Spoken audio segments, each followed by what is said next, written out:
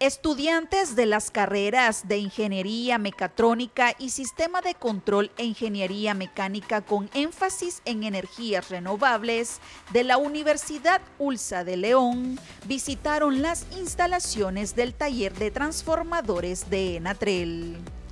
explicándoles pues verdad de que somos parte de la gerencia de transmisión, de que un área que se fundó en 1986, se explicó que actualmente pues la capacidad que tenemos anda por 150 transformadores reparados mensualmente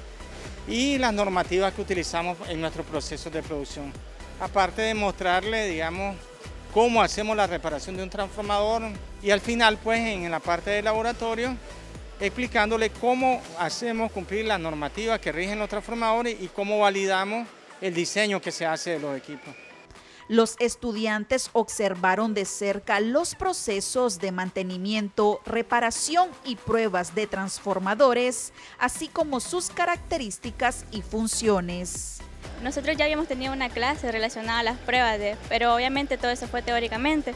Una vez visitando el centro, entonces pudimos ver de primera mano qué equipos utilizan para hacer las pruebas, los pasos que realizan para hacer cada prueba y la forma en la que diagnostican. Y también nos mencionaron acerca de los equipos que utilizan cuando van a campo a hacer las mediciones allá. El objetivo que la universidad se plantea en realizar visitas a Enatrel como a otras empresas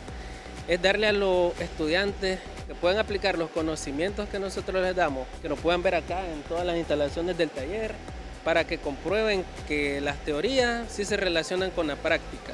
desde el funcionamiento de los transformadores, los sistemas de distribución,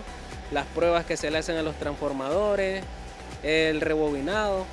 y es el mejor lugar porque es el único en Nicaragua con certificación donde ellos pueden ver cómo se hacen realmente y cómo salen los resultados de estas pruebas. En esta visita estuvieron presentes 33 estudiantes y dos docentes, además de funcionarios de Enatrel.